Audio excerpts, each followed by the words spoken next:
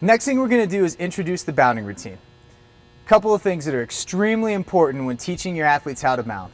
Number one, posture. You want your athlete to be in the correct position. You don't want them leaning too far forward.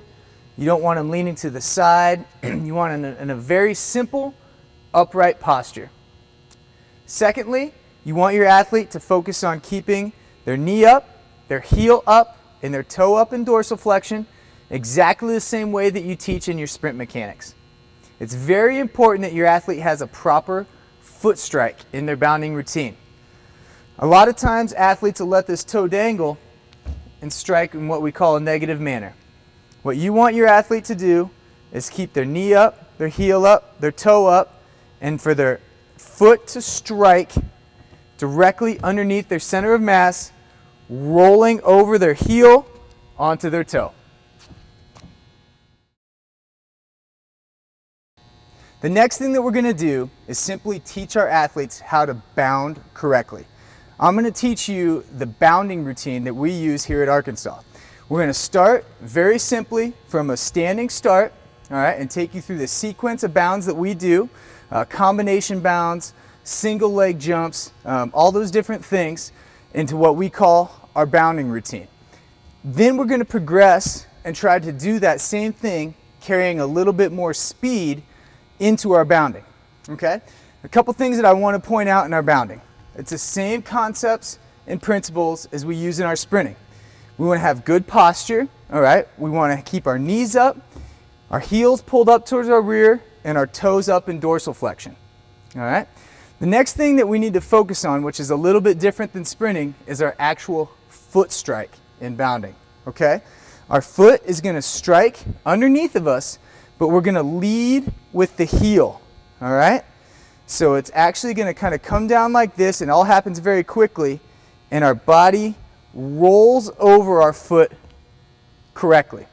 It's very important that your athlete learns this proper foot strike in order to be efficient in the triple jump and to avoid injury.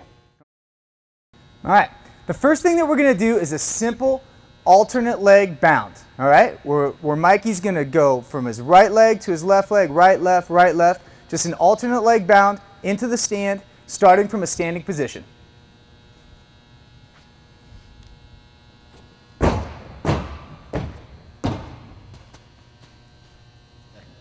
Again, Michael's going to demonstrate an alternate leg bound starting from a standing position.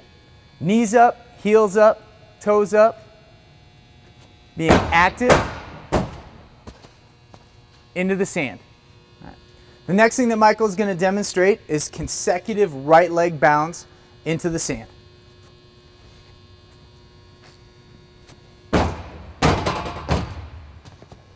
Good. Great. Now we're going to do the same thing just off the opposite leg. Now he's going to do left leg bounds into the sand.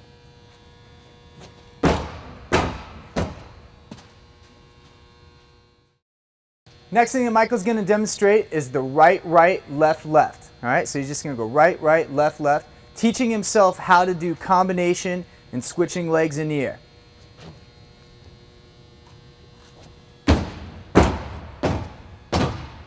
Good. The next drill that Michael's going to demonstrate is simply a right, right, left, right, right, left. Notice we backed up a little ways on the runway to give him a little bit more room to execute it. We're trying to go through this twice.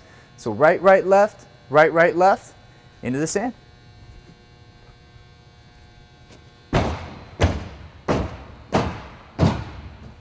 Good. That is a, a very simple bounding routine that you can utilize for your athletes. Again, I would start off very simply, just having them do a couple of repetitions from a standing position. Now, when you do your bounding routine, the other thing that you can also do is make sure that you find a soft surface, okay?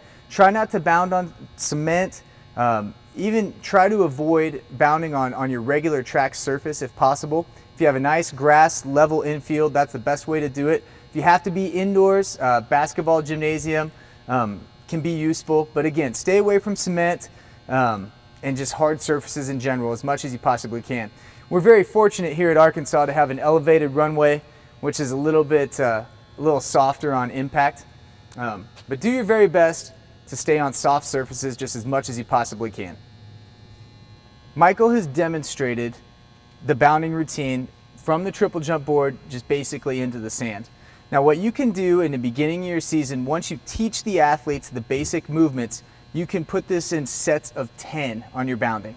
Once again, you have to find a, a very long area and preferably as soft a surface as you can to avoid injury.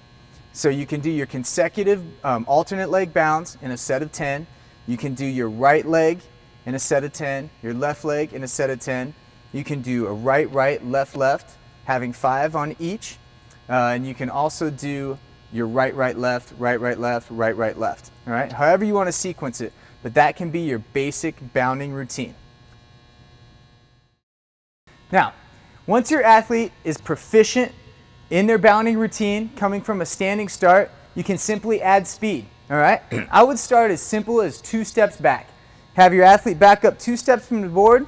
Just do a simple one, two into the board, and then move into the bounding routine. All right, once again, the first thing that Michael's going to demonstrate is a simple alternate leg bound. You want your athletes to focus on carrying their speed through each repetition. So one thing that we're going to talk about is the hold and hammer.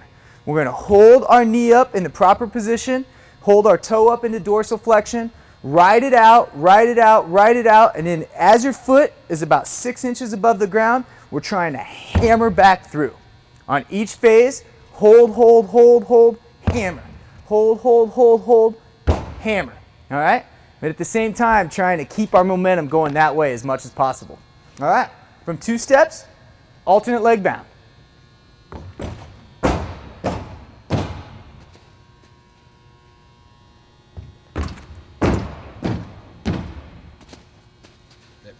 Now again, we're going to go from two steps and we're going to go consecutive rights, then we'll go consecutive lefts.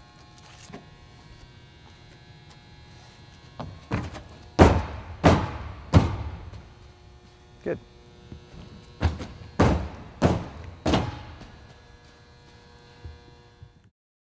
As you can see here, we've simply moved back from the triple jump board a little ways, put a piece of tape on the track just to give Michael a little bit more room to do the next sequence, which is right, right, left, left, into the sand.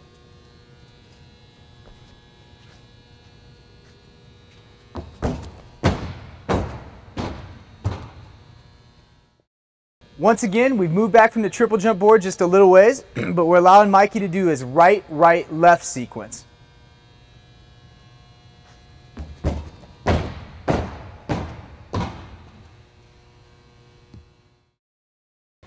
But now we've moved on to taking a four-step approach. We're simply adding a little bit more speed into the exact same drills that we've already done. So from four steps, Michael's going to demonstrate the alternate leg bound drill, and he's going to, on this time, he's going to happen to go all the way into the sand.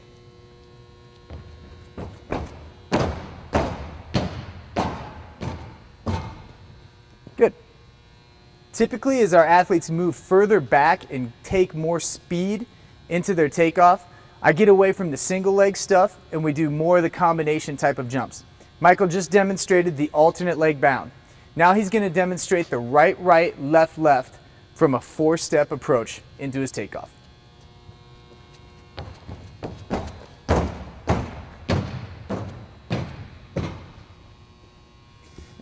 All right, again, for demonstra demonstration purposes, Michael's simply coming from a four-step approach.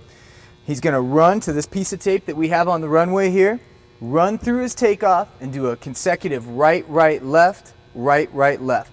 This is obviously very specific to the triple jump and mimics what we're going to do in competition. One thing that I really want you to make note of is that Michael's doing a very good job of running over his takeoff. He's not popping up or jumping too much like a long jump out of his takeoff. He's keeping his hips nice and tall and simply running over that takeoff.